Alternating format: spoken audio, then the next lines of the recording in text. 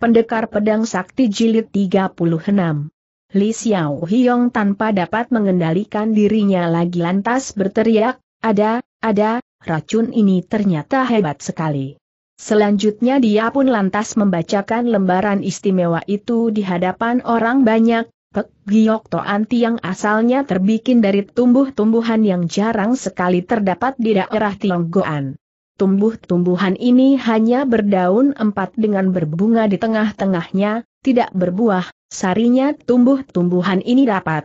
Dengan cepat dia membaca lembar istimewa ini, tapi tampaknya dia malas untuk membaca keterangan yang bertele-tele dari penjelasan ini, hingga dia merasa lebih penting untuk mencari care pengobatannya, maka lalu dilanjutkannya pembacaannya sebagai berikut, sifat racun ini sangat kental sekali. Bersama-sama dengan Lipo Toan Tiang, nama racun yang juga berarti dengan cepat dapat memutuskan usus, Pek Giok Toan Tiang disebut Siang Toan Tiang, sepasang racun yang sama keras dan hebatnya untuk memutuskan usus. Racun ini mempunyai sifat yang lambat sekali dalam menunjukkan keracunannya. Waktu racun itu sampai di dalam tubuh seseorang, tidak peduli betapa hebatnya orang itu mempunyai tenaga dalam dan kemahiran ilmu silat, tidak urung ia tak mampu menahan racun yang hebat tanpa tandingan di dunia ini, sangat ganas dan berbisa sekali, maka ini terbilang sebagai racun yang paling ditakuti oleh setiap makhluk yang berjiwa.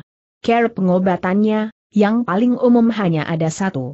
Berkata sampai di situ, tanpa terasa pula suaranya pun menjadi lemah karena perasaan tegang telah memuncak pada dirinya dengan suara yang keras dan berkata lebih lanjut, hanya terdapat satu barang yang dapat menyembuhkannya, yaitu Hogiok Pengsim, barang ini.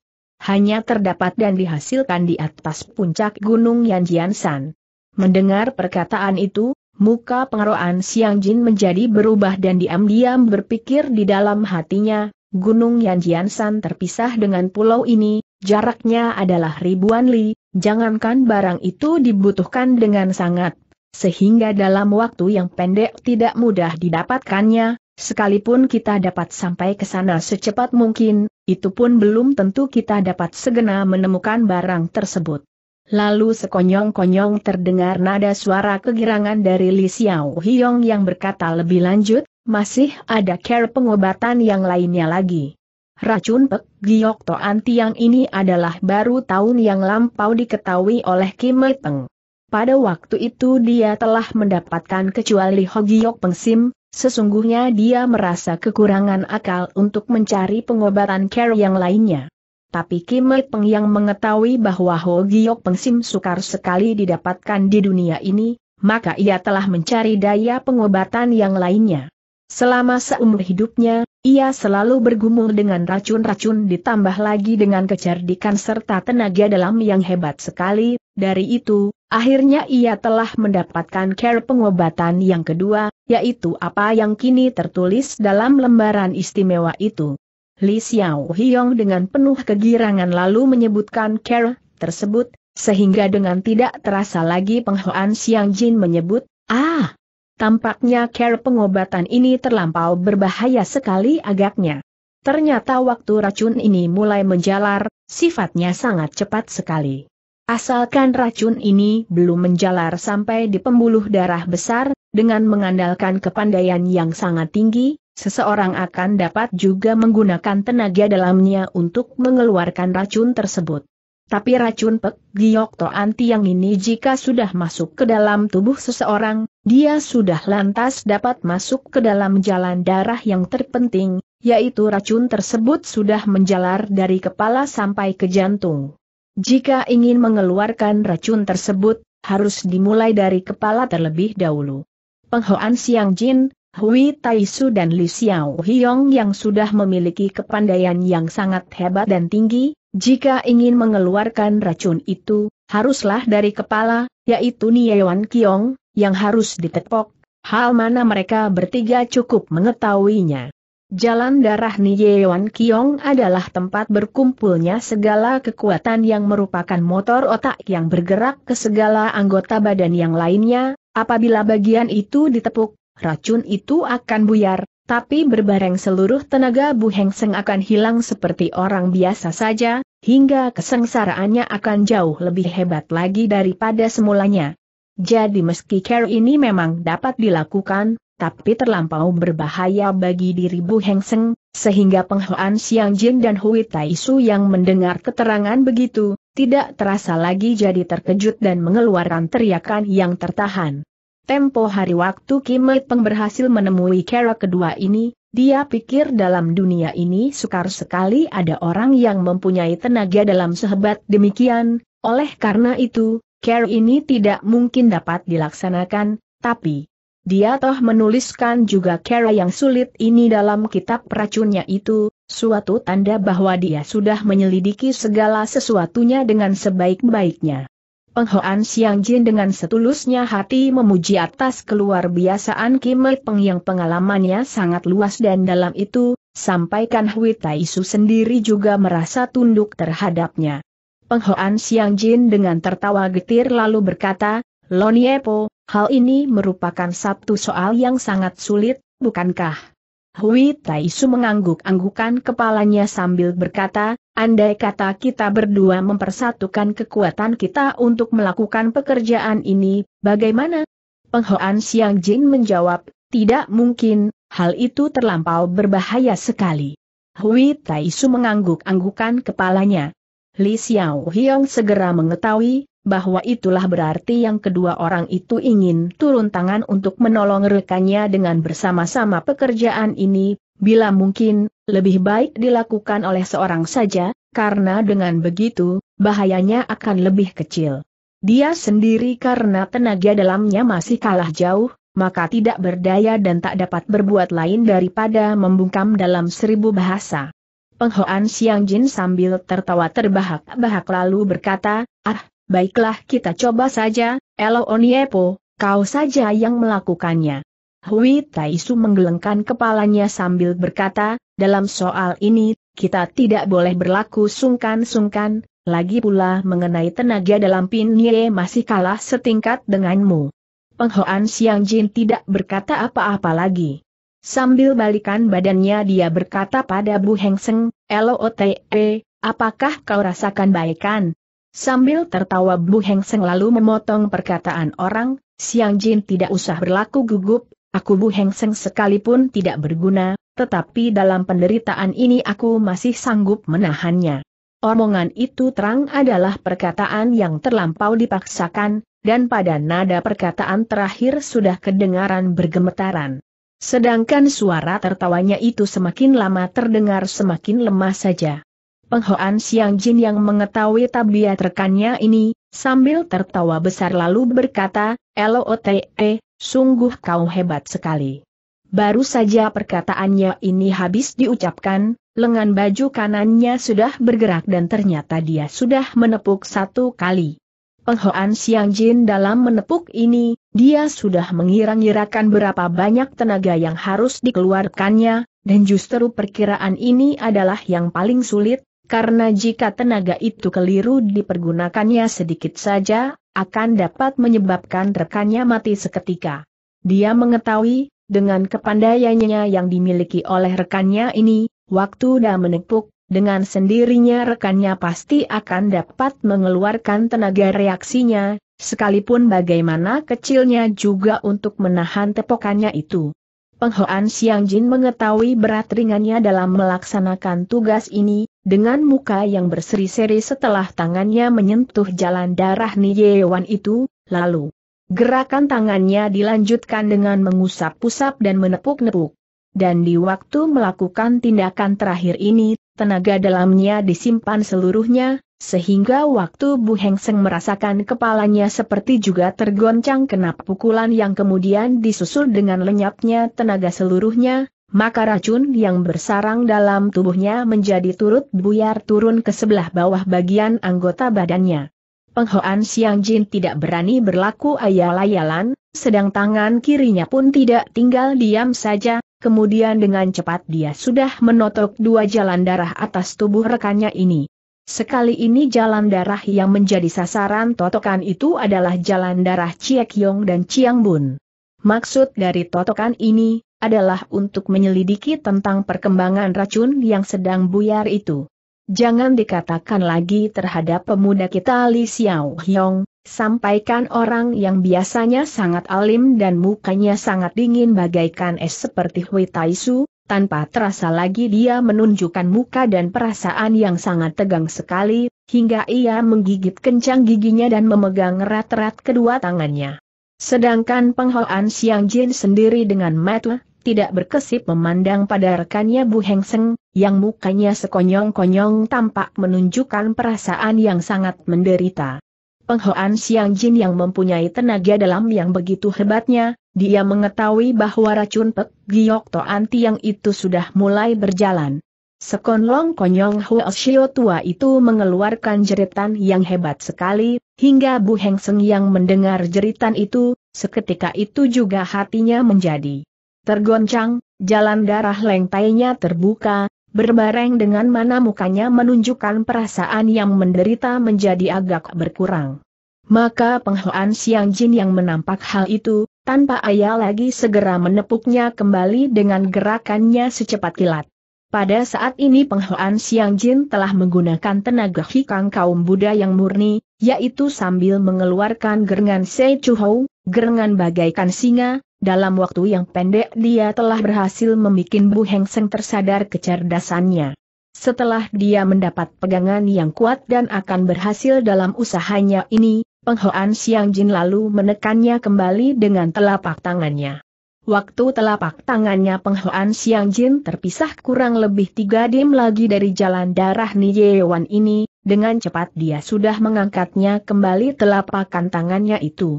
Sambil menahan napas Li Xiao yang mengetahui, sekali tepuk ini seluruh kekuatan tenaga dalam penghoan Siang Jin akan menerobos masuk ke dalam tubuh rekannya, maka berhasil atau gagal, justru dalam sekali gerak tangannya inilah yang akan membuktikannya. Penghoan Siang Jin lalu dengan perlahan-lahan mengempos semangatnya.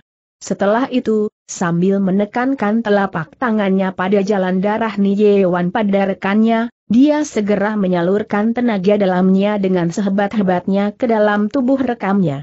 Ternyata gerak tangan yang dilaksanakannya oleh penghoan Siang Jin ini sangat tepat dan jitu sekali menemui sasarannya. Dan setelah rintangan yang amat berat ini berlalu, maka Hui Taisa dan Li Xiao Hiong barulah merasa lega hati. Tapi sebaliknya penghoan Siang Jin sendiri yang mempunyai perhitungan yang matang, dia tahu bahwa telapak tangannya yang menekan jalan darah rekannya itu cukup bertenaga, maka sedikit pun dia tidak dapat memencarkan perhatiannya, sedangkan tenaga dalamnya pun sudah dipusatkan seluruhnya. Dengan mengandalkan tenaga dalam yang sehebat-hebatnya itu, dia mendesak pada racun itu, tapi dia masih meragukan, apakah pekerjaannya ini akan berhasil? tapi walau bagaimanapun juga dia tidak dapat memecah perhatiannya pada soal-soal lainnya, maka dengan sekuat tenaga dia berusaha untuk menyembuhkan rekannya ini. Begitulah detik demi detik telah berlalu, kepala penghoan Siang Jin terlihat sudah mengebulkan asap putih, rambutnya seakan tampak berdiri, tergoyang oleh tiupan angin lalu, sedang mukanya sangat dingin bagaikan es, Hingga tampaknya dia sedang berada di puncak ketegangan. Hui Taisu tidak percaya ada pekerjaan yang sedemikian sulitnya, andai kata dia tidak menyaksikannya dengan mata kepala sendiri. Tatkala itu dia pun merasa luar biasa gembiranya, waktu melihat pekerjaan yang sedemikian sulitnya itu telah dapat dikerjakan oleh penghoan Siang Jin dengan berhasil seluruhnya maka hatinya yang turut merasa tegang, setiap saat dia memusatkan matanya memandang pada perkembangan-perkembangan atas diri Bu Heng Seng ini. Dan benar saja, badan penghoan Siang Jin sudah tidak tahan agaknya karena tubuhnya bergoyang-goyang seperti orang yang mabuk arak. Maka Li Xiao Hiong yang menyaksikan peristiwa itu, jadi terkejut bukan kepalang, hingga badannya sudah melesat ke muka untuk melihatnya dengan terlebih cermat lagi. Dia ketahui bahwa tenaga dalamnya penghoan Siang Jin sudah tidak dapat disalurkan dengan sempurna lagi. Dia bermaksud untuk memberi pertolongan, tapi ia segera berbalik pikir, bahwa tenaga dalamnya sendiri jika dibandingkan dengan orang tua itu, terpaut masih jauh sekali. andai kata dia lancang tangan memberi pertolongan, bukan saja bagi penghoan Siang Jin tidak bermanfaat apa-apa, malahan bagi Bu Heng Seng sendiri mungkin akan timbul komplikasi yang ruwet, sehingga kesudahannya akan membahayakan terhadap jiwa Bu Heng Seng. Oleh karena itu, dengan cepat dia pun tidak berani melaksanakan apa yang telah dipikirkannya semula. Pada saat itu satu bayangan manusia telah melampauinya pula. Tanpa banyak berpikir-pikir lagi, Li Xiao Hyong pun segera mengetahui, bahwa bayangan tersebut pastilah ada Xiao Chiap Tao Cui Taisu. Pergerakan Hui Taisu ini cepat bukan buatan, karena dengan sekali berkelebat ia sudah tampak tiba di hadapannya Penghoan Jin. Dia yang mengetahui bahwa perkembangan kejadian ini agak tidak menguntungkan, maka akhirnya dia selalu waspada dan memperhatikan segala sesuatu yang terjadi di sekitarnya. Dan di waktu melihat penghoan Siang Jin agak bergoyang-goyang badannya, dia pun sudah maklum ada sesuatu yang berjalan tidak beres, dan memang benarlah, bahwa tenaga dalam penghoan Siang Jin pada saat itu tidak berjalan lancar seperti yang diharapkan, maka dengan gerakan kaki Kit Mo Sin Po dia sudah tiba di hadapannya. Dengan cepat Hui Taisu menggunakan jari telunjuknya, yang ditotokannya dengan tepat sekali pada jalan darah. Cie Tong hiatnya penghuan Siang Jin, untuk menyalurkan pula tenaga dalamnya dengan melalui Shio tua itu. Dengan mendapat tambahan tenaga dalam dari rekannya maka semangatnya penghuan Siang Jin menjadi terbangun pula, hingga dengan cepat dia menghempos semangatnya dan tenaga dalam yang cukup hebat disalurkan kembali masuk ke dalam tubuhnya Bu Heng Seng. Li Xiao Hiong pun kini mengetahui, bahwa penghoan Siang Jin sudah terlolos dari bahaya, tapi sebaliknya andai kata tenaga dalamnya Hui Taisu ini tidak cocok dengan tenaga dalamnya penghoan Siang Jin, bukan saja jiwanya Bu Heng Seng sulit dilindungi, Malahan penghoan Siang Jin dan Hui Taisu sendiri pun akan menderita luka-luka yang parah juga. Oleh karena itu, perasaan Li Xiao Hiong pada saat itu jika dibandingkan dengan saat-saat sebelumnya, dia merasa lebih tegang dan hatinya pun tidak henti-hentinya berdebar-debar keras, tapi dia mengetahui bahwa dirinya sendiri tidak mungkin dapat memberi pertolongan apa pun, hingga dengan tidak berdaya apa-apa, dia hanya dapat menyaksikan saja kesibukannya kedua orang ini dari samping. Di sini, di Pulau Xiao Chiap Tu yang terletak di tengah-tengah antara ketiga pulau di Laut Tonghai, keadaannya sangat sunyi bagaikan daerah yang mati saja. Pantai terpisah dengan pulau ini agak jauh, sehingga suara ombak yang mendampar pantai sama sekali tidak kedengaran sampai di sini. Li Xiao Hong yang memandang dengan terlongong-longong, dia lihat Tai Chiap Toocu dengan tekanan yang keras sekali menekan jalan darah Nijewan di kepalanya Bu. Heng Seng, sedangkan jari telanjutnya Hui Tai Su melekat erat sekali pada jalan darah Chie Tong Hiat di tubuh penghuan Siang Jin, dengan Bu Heng Seng sendiri duduk bersila dan mukanya menunjukkan perasaan yang sangat luar biasa anehnya.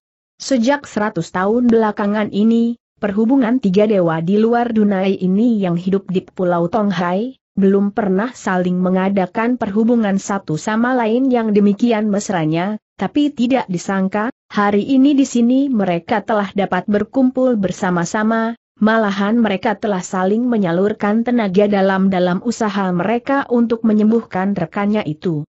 Dalam pada itu Li Xian Wahyong dengan diam-diam memanjatkan doa kehadiran Tian Yang Maha Kuasa, agar luka-lukanya Bu Hang Seng dapat pulih kembali seperti sedia kala. Dan berbareng dengan itu, dia pun dengan teliti melihat kitab racun ini sekali lagi, yang kini dia mengetahui, bahwa racun itu sudah mulai buyar dan jalan ke sebelah bawah tubuh Bu Heng Seng, hingga sekarang tindakan selanjutnya adalah mencari daya untuk mengambil darahnya yang mengandung racun itu. Dengan perlahan-lahan Li Xiao Hiong jalan menghampiri.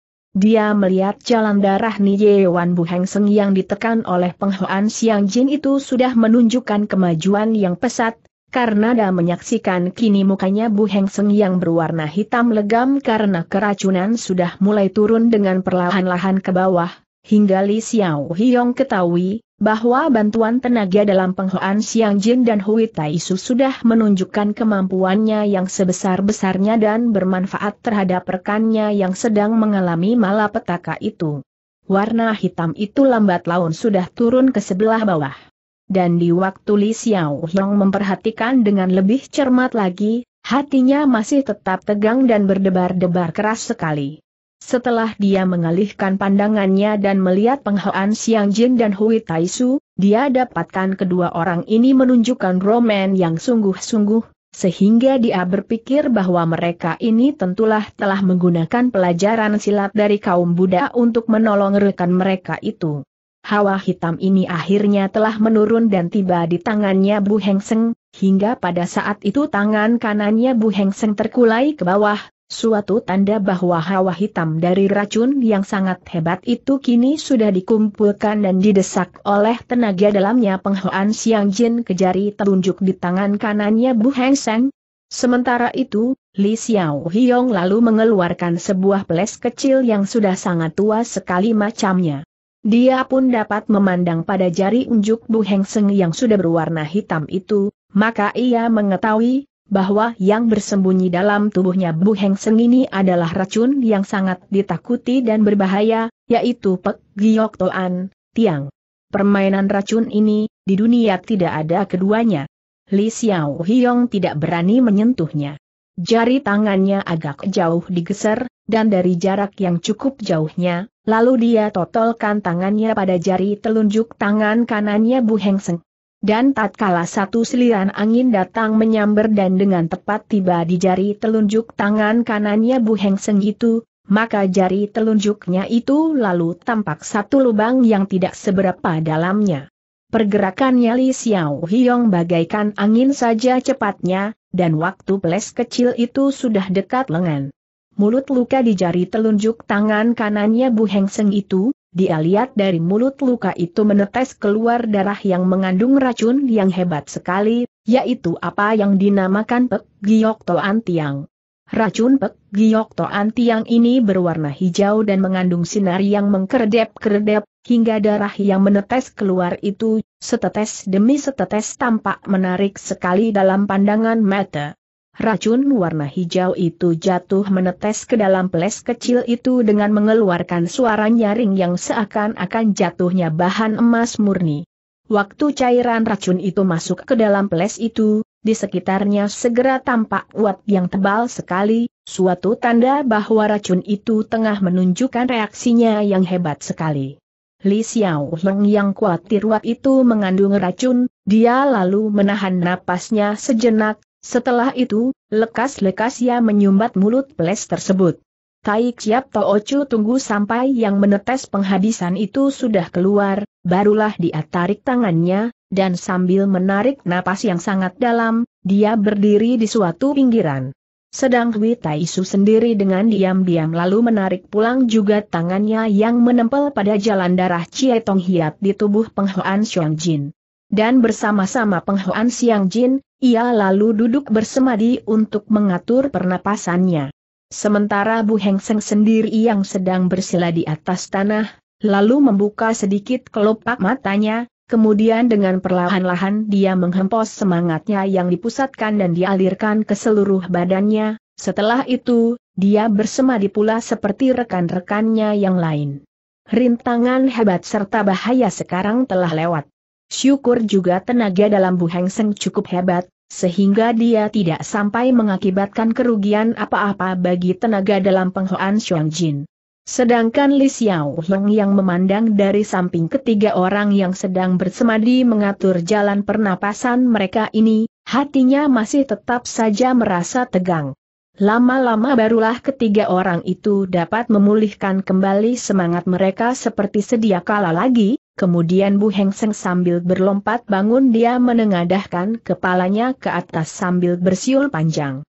Siulannya ini sungguh hebat sekali, karena dalam mengeluarkan suaranya itu, dia sertai juga tenaga dalam yang sehat hebatnya, sehingga suara itu bukan main keras dan nyeringnya, bagaikan geledek yang memecah angkasa. Suara itu berkumandang jauh sekali, dari mana terbit gelema yang memekakkan telinga.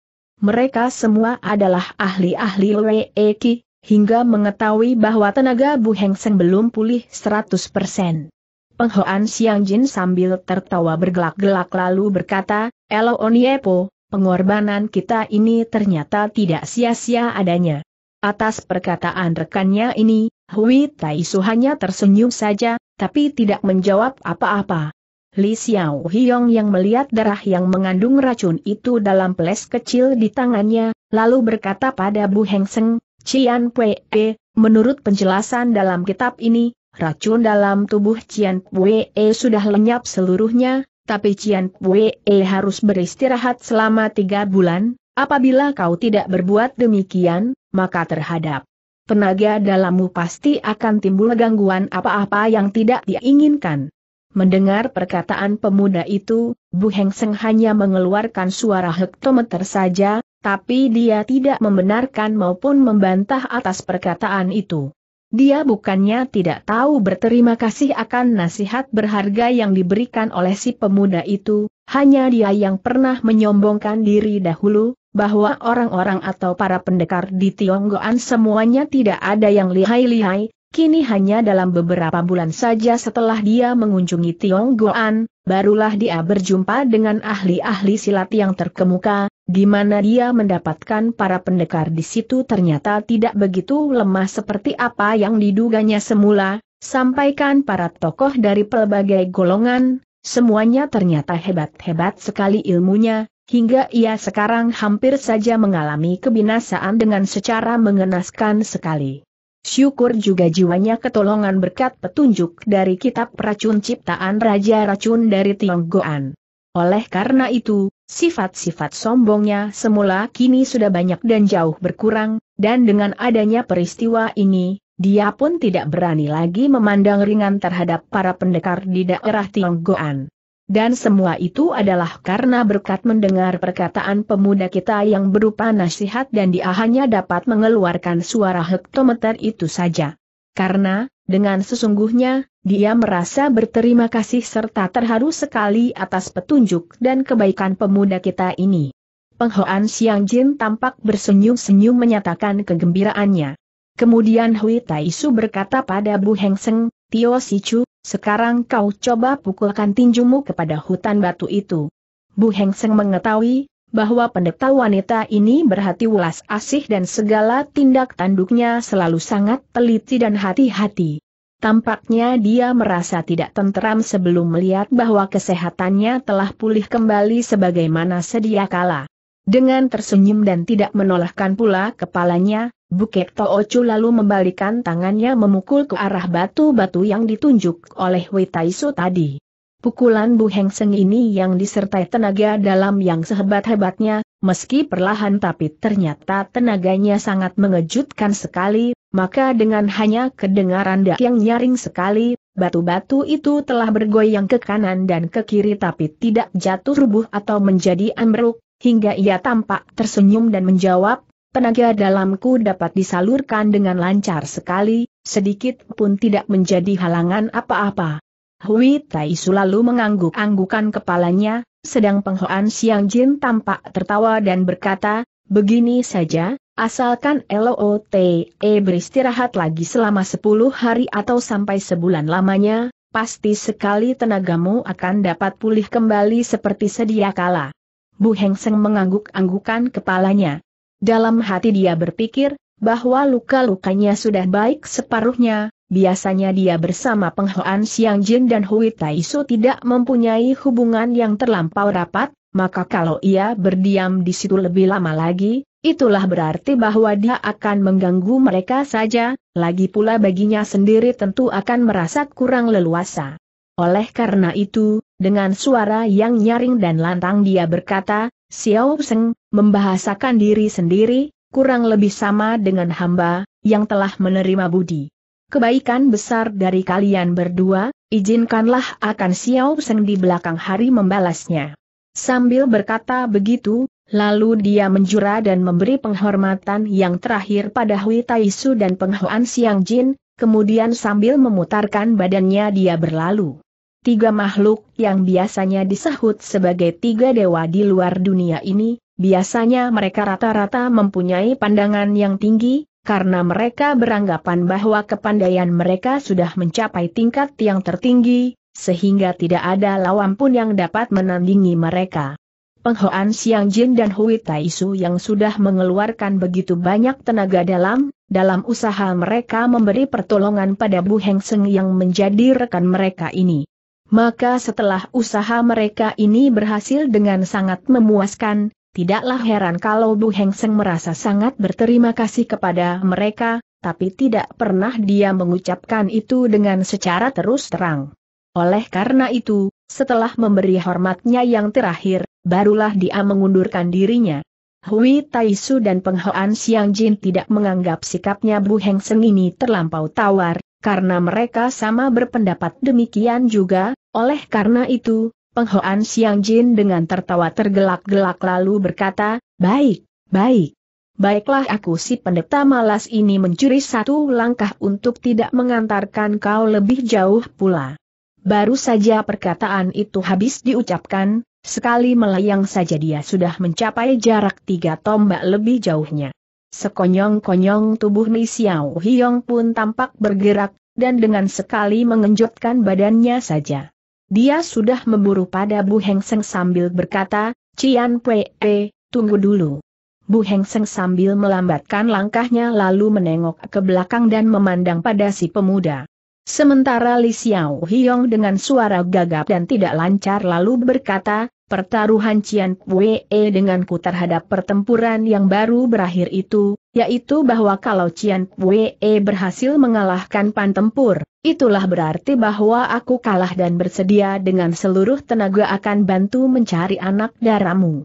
Bu Heng Seng berpendapat, bahwa tadi memang sesungguhnya ia sudah berhasil dapat mengalahkan pan tempur yang menjadi lawannya, tapi ketika baru saja dia ingin membinasakan lawannya, sekonyong-konyong dia jatuh pingsan, karena racun yang telah lama bersarang di dalam tubuhnya. Perasaan Bu Heng Seng terhadap pemuda kita, sekarang sudah banyak lebih baik jika dibandingkan dengan waktu-waktu yang lampau itu, maka sambil melirikan matanya dia bersenyum, kemudian barulah dia putarkan badannya dan berlalu dari pulau itu dengan tak berkata-kata barang sepatah pun. Pada detik itu Hui Tai lalu bangkit berdiri, menoleh pada penghuan Siang Jin, tapi tidak berkata apa-apa, kemudian dia balik masuk ke pedalaman pulaunya ini. Penghuan Siang Jin yang sudah dari siang-siang mengetahui jelas tentang tabiat Niko tua yang sangat luar biasa ini, dia pun hanya tertawa terbahak-bahak saja menyaksikan tingkah laku rekannya itu, dan setelah Hui Taisu sudah melenyapkan diri di tikungan batu-batu gunung tersebut, barulah dia berhenti tertawa. Li Xiao Hiong setelah mengantarkan kepergian Bu Heng Seng dengan pandangan mata, barulah dengan perlahan-lahan dia balik kembali ke barisan batu-batu kuno itu, pada waktu mana dia nampak muka penghoan Siang Jin yang agak aneh, hingga tidak terasa lagi hatinya menjadi tercengang juga. Lalu dia jalan menghampirinya sambil kemudian duduk di sampingnya. Seng hari perlahan-lahan sudah menjadi gelap, karena sinar matahari sudah silam ke ufuk sebelah barat, sedangkan bayangan malam akan segera menampilkan diri. Di daerah yang berdekatan dengan pantai laut, angin laut semakin malam berhembus semakin santar dan besar, sehingga baju penghoan siang jin yang berwarna putih itu berkibar-kibar oleh hembusannya seng angin. Li Xiao Hiong lalu memandang pada penghoan Siang Jin yang sedang berdiam diri di situ, hingga dia pun mengetahui, bahwa orang tua ini pasti mempunyai perasaan hati yang hendak disampaikannya, tapi dia belum mau mengatakannya, sedangkan dia sendiri tentu saja tidak enak untuk menanyakannya. Pada dua jam yang lalu, di tempat ini telah terjadi pertempuran mati hidup yang amat seru serta hebatnya, yaitu pertempuran antara orang Tionghoa dengan orang asing, dan akhirnya kejadian ini pun seperti juga awan yang terhembus angin, dan kini pertempuran hebat itu sudah selesai dan keadaan serta ketenangan di daerah itu balik kembali seperti sedia kala lagi.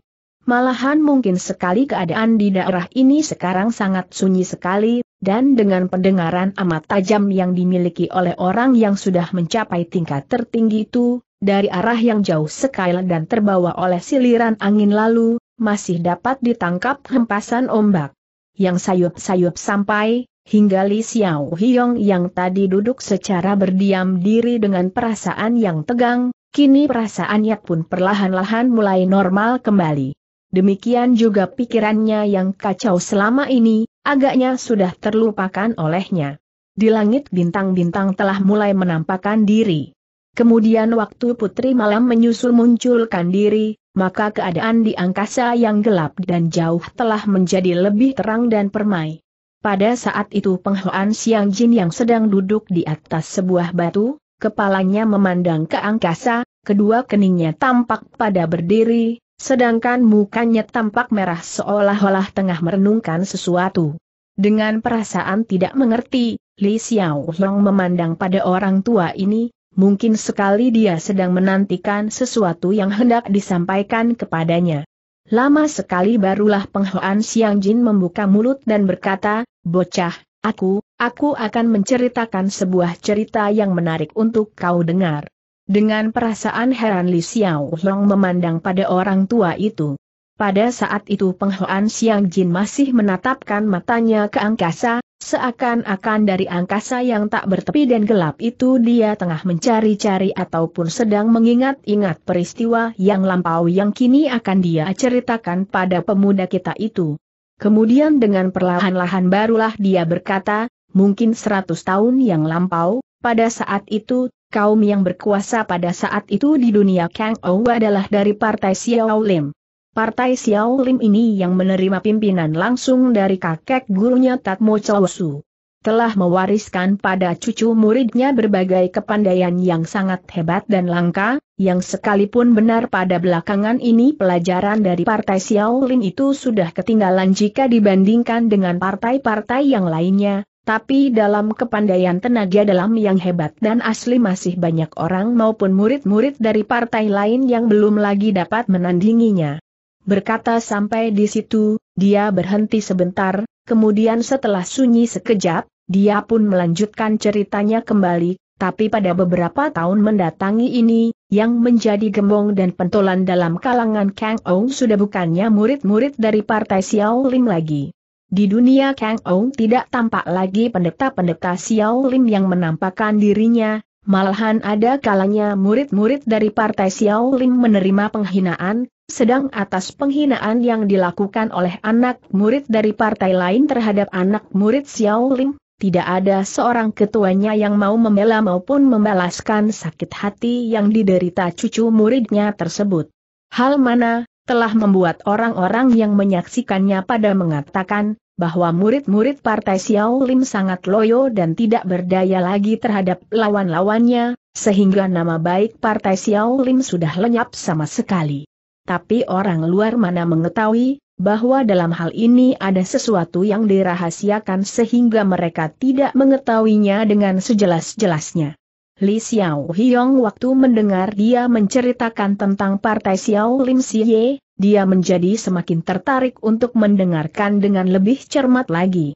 Kemudian orang tua itu melanjutkan ceritanya, pada saat itu, yang menjadi Chiang Bun Jin dari partai Xiao Lim adalah Leng Heng Taisu, sedangkan sutrainya Lengkong.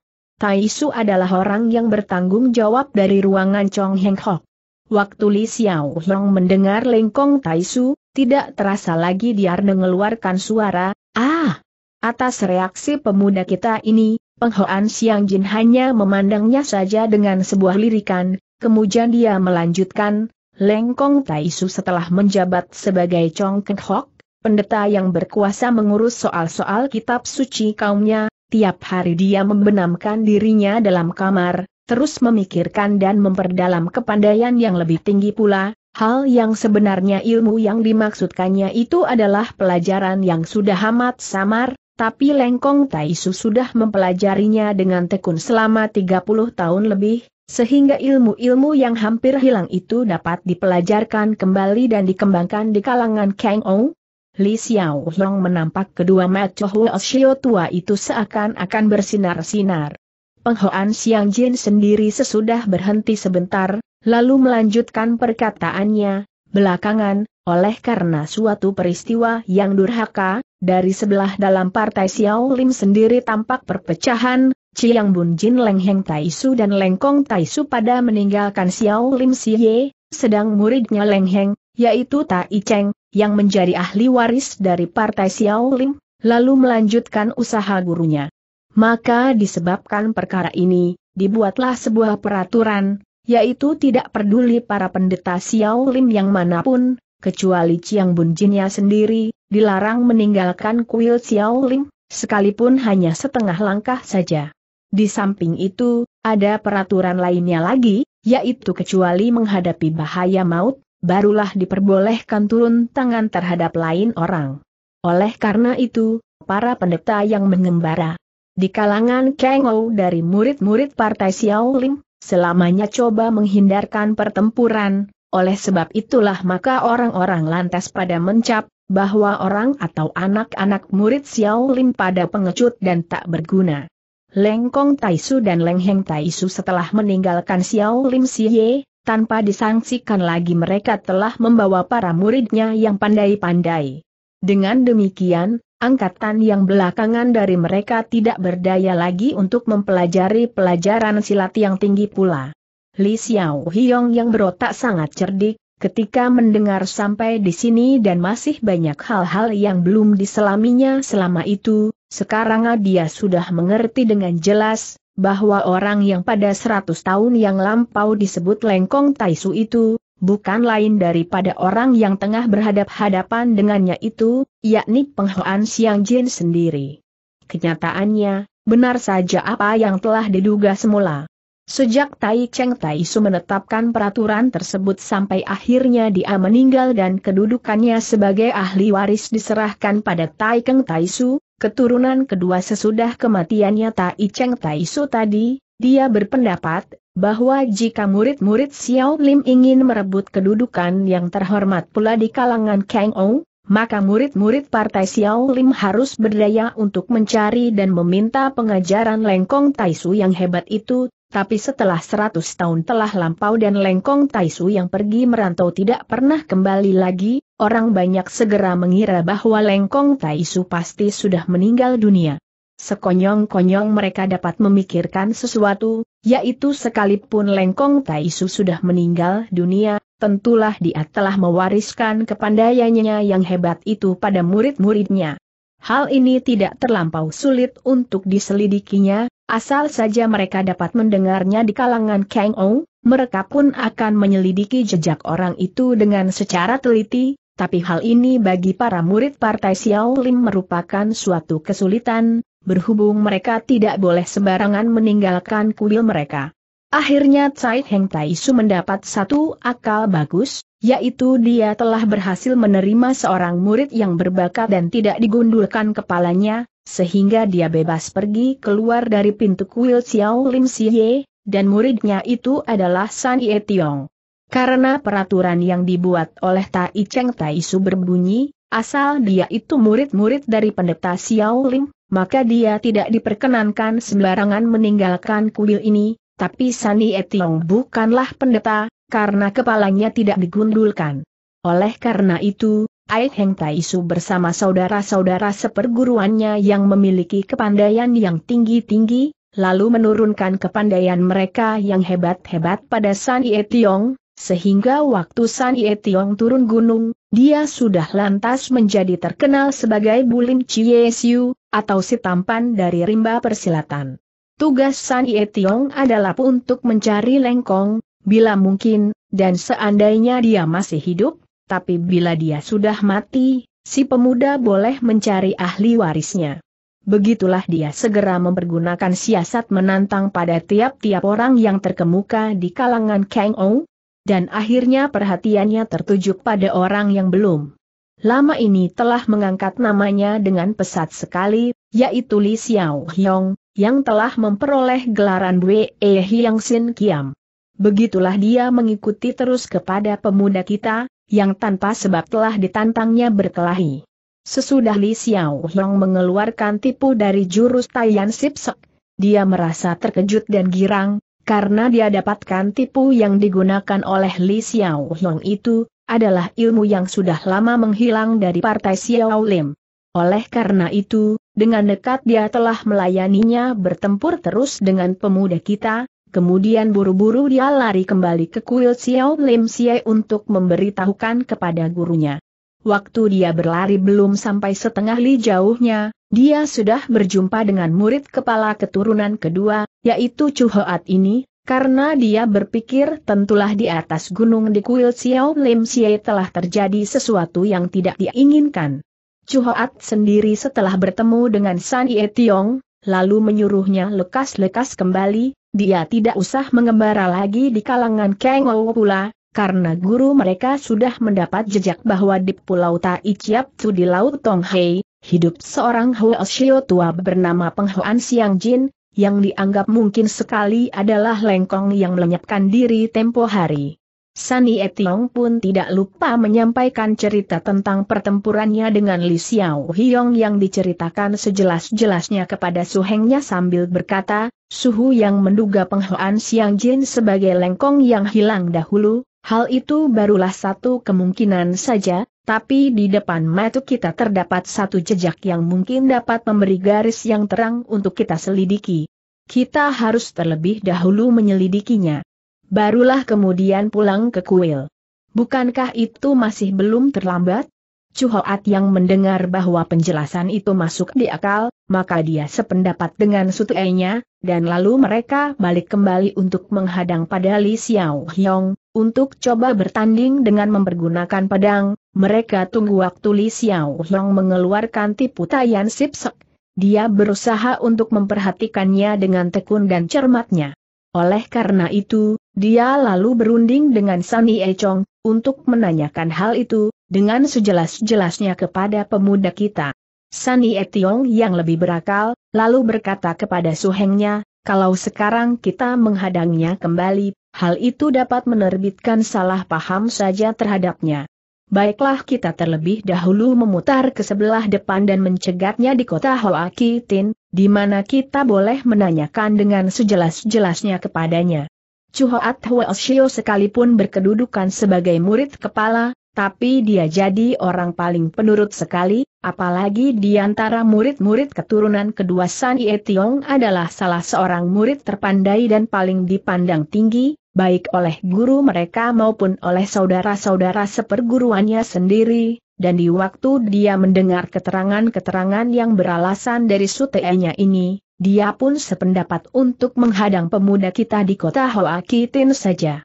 Begitulah mereka menunggu di kota Hoakitin ini sehingga empat atau lima hari lamanya, tapi mereka masih saja tidak menjumpai pemuda kita datang ke situ. Padahal mereka tidak pernah menyangka, bahwa Li Xiao Hiong kena dibokong dan dikeroyok oleh sembilan jago-jago Kuan Tiong yang ingin sekali mencabut nyawanya. Terus sampai pertemuan di puncak Gunung Kuyesan dimulai, barulah dia mulai memperoleh jejaknya pemuda kita ini, maka sambil mengikuti pemuda kita ke Gunung Kuyesan, tidak lupa dia menyuruh Chu Hoat akan pulang terlebih dahulu ke kuil Xiao Lim Xie, untuk memberi kabar kepada guru mereka di sana. Penghoan Siang Jin yang telah muncul di ruangan Buyetia dan memberi pelajaran yang hebat kepada si pemuda di hadapan musuh, akhirnya telah membuat Li Xiao Hiong dapat mengalahkan orang-orang asing yang menjadi lawannya, sehingga mereka merasa malu dan lantas kembali ke negeri mereka. Sementara San Ye Tiong yang menduga keras bahwa Li Xiao Hiong pastilah murid yang terpandai dari Lengkong Taisu, ketika baru saja hendak menanyakan sangkut paut antara mereka dengan pihaknya, tidak disangka Li Xiao Hiong sudah dibawa kabur oleh penghuan Siang Jin, sehingga selanjutnya mereka tidak kelihatan bayangan-bayangan kedua orang itu pula. Oleh karena itu, Sani Etiong terpaksa pulang kembali ke kuil Xiao Lim Xie dengan tangan hampa. Sesampainya di kuil tersebut, Lalu diceritakannya kepada gurunya tentang pertempuran tadi antara Li Xiao Hiong dengan Qin Lungo, penantang asing itu, sambil tidak lupa dia melukiskan Roman Li Xiao Hiong dengan penghoan Xuan Jin. Dan setelah Tsai Heng Tai Sum mendengar penuturan muridnya itu, sambil mengeluarkan air mata sekonyong-konyong ia berkata, Seng Buddha sesungguhnya tidak buta. Lengkong Wisu ternyata sampai hari ini masih hidup segar bugar. Tak dapat disangsikan lagi, orang itu pastilah dia adanya. Oleh karena itu, maka para murid-murid yang terpandai dari partai Xiao Lim pada keluar kuil dan bersama-sama. Dengan secara berbondong-bondong pergi menuju ke Pulau Tai Chiap Tu. Serombongan pendeta-pendeta dari Xiao Lim Xie yang melakukan perjalanan dengan tergopoh-gopoh, malah telah menerbitkan perhatian orang lain, tapi mereka sendiri tidak mengetahuinya. Kin Lungo bersama suhengnya kata waktu masuk ke daerah Tionggoan, guru mereka pernah memesan dengan memberitahukan sebagai berikut, ilmu kepandaian silat di Tionggoan sangatlah terbatas, hanya ada satu golongan yang disebut pendeta-pendeta dari Xiao Lim Xie yang agak lumayan tingkat kepandaiannya. Apabila kalian ingin mengejutkan dan mengangkat nama kalian, maka hendaknya kalian terlebih dahulu menjatuhkan mereka ini. Tentu saja, guru mereka tidak pernah menyangka, bahwa kedudukan kalangan rimba persilatan di daerah Tionggoan sekarang sudah mengalami perubahan yang hebat sekali, sedangkan nama Xiao Lim kini sudah jarang terdengar pula. Itulah sebabnya, pada waktu di ruangan Buyetia, Katar menoleh keempat penjuru untuk mencari pendeta-pendeta Xiao Lim Xie, akhirnya dia hanya menjumpai Kou Wem saja, yang segera melayaninya, hingga dengan girang ia telah menyambutnya, karena dia menduga, bahwa pendeta ini tentulah ada murid-murid dari partai Xiao Lim. Tapi waktu mendengar penjelasan adik seperguruannya Kin Lungo yang paham bahasa Han, ia telah diberitahukan, bahwa Kou Wem itu bukanlah murid partai Xiao Lim, melainkan murid dari Parai Gobie hingga Qatar yang mendengar hal itu menjadi putus harapan dan kecewa di dalam hatinya. Tapi akhirnya waktu Kin Lungo sendiri telah kena dikalahkan oleh Li Xiao Hyong, Heng Hao Sam Hut yang mendengar penjelasan muridnya, mereka menduga bahwa orang yang dimaksudkan oleh murid itu, kini tinggal berdiam di Pulau Tai Chiap Tu. Oleh karena itu, lalu mereka bertiga saudara datang ke daerah Tionggoan pula. Tengah mereka merasa bingung, berhubung mereka tidak mengetahui letak Pulau Tai Chiap Tu tersebut, Kebetulan sekali Kin Lungo telah dapat mencuri dengar rombongan para pendeta Xiao Lim Xie yang juga hendak menuju ke Pulau Tai Chiap Tzu juga, maka dengan diam mereka lalu mengikuti perjalanan rombongan pendeta-pendeta dari Xiao Li Xie itu. Keempat orang ini sangat tinggi ilmu kengsin keng mereka, sehingga pengintaian mereka tidak diketahui oleh rombongan pendeta-pendeta Xiao Lim tersebut. Sesampainya di Pulau Tai Chiap Tzu, mereka yang merupakan dua rombongan yang mempunyai maksud kedatangan yang berlainan, ternyata kedatangan mereka sia-sia belaka, karena yang dicari mereka tidak terdapat di pulaunya itu, karena penghoan Siang Jin tengah mengajak Li Xiao Hiong ke Pulau Xiao Chiap Tzu untuk melakukan pertempuran pertaruhan dengan Hui Taisu, di mana akhirnya Eng Hao Sam Hu telah bertempur dengan rombongan pendeta-pendeta dari Xiao Lim Xie. Li Xiao Hiong sekalipun hanya menduga-duga saja, ternyata dugaannya ini tidak berbeda jauh dengan penjelasan-penjelasan dari Pang Hoan Xiang Jin sendiri. Di atas langit bintang-bintang tampak berkedip-kedip, suara debaran ombak terdengar dengan tidak henti-hentinya. Keadaan di sekeliling mereka tampak gelap sekali, hanya di pantai laut terlihat sebuah garis putih karena riak. Ombak yang tidak putus-putusnya, karena tersorot oleh sinar bulan maupun bintang-bintang. Penghoan Siang Jin setelah berhenti bercerita, lalu dia tengadahkan kepalanya memandang ke angkasa. Rambutnya yang berwarna putih tampak berkibar-kibar di bawah tiupan angin laut, hingga pada saat itu dia lebih mirip sebagai patung daripada manusia yang berjiwa. Dengan suara yang perlahan Li Xiao Hiong lalu bertanya, dan bagaimana dengan Leng Heng Taisu? Penghoan Siang Jin dengan lemah lalu menjawab, Su Heng, oh, bukan, Leng Heng Taisu juga masih hidup di dunia ini. Sekalipun dia sudah mengubah sebutannya dengan cepat, tapi perkataan Su Heng yang telah tidak sengaja disebutkannya tadi, teranglah sudah, bahwa dia sendiri adalah Lengkong Taisu. Diam-diam Li Xiao Hyong berkata pada dirinya sendiri, Leng Heng Taisu sebagai suhengnya Lengkong Taisu, kini dia pun masih hidup di dunia ini, dia ini tentunya mempunyai kepandaian yang hebat dan lihai juga. Titik. Oh, benar, tempo hari ada seorang pendeta yang naik di punggung burung bangau dan telah memanggil pada lengkong Taisu, pendeta itu tentulah Lengheng sendiri adanya. Para pembaca tentu masih ingat, tempo hari waktu Li Xiao Hiong dapat memecahkan barisan yang disebut Kuiego An Kou Tin di Pulau Xiao Chiap Tu, yaitu sewaktu Penghoan Siang Jin sedang bertempur dengan Hui Taisu, ada seorang pendeta tua yang datang dengan naik di punggung seekor burung bangau dan manggil-manggil kepada penghoan Jin. Dan di waktu mereka hendak berpisah, ia pernah berkata kepada pemuda kita, jika mereka memang berjodoh, pasti di lain waktu mereka dapat saling berjumpa pula. Perkataan tersebut masih diingat oleh Li Xiao Hyong, tapi dia tidak tahu apa artinya.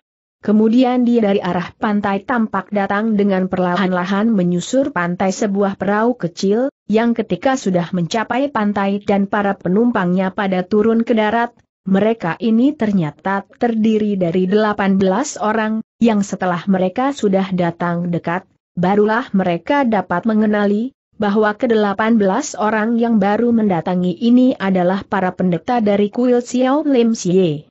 Sejak rombongan para pendeta dari Xiao Lim ini melihat penghoan Siang Jin mengajak pergi Li Xiao Hyong, mereka hanya dapat mengikuti jurusan yang tadi ditempuh oleh penghoan Siang Jin saja, karena mereka tidak tahu tempat mana yang hendak dituju oleh Huoshio tua itu.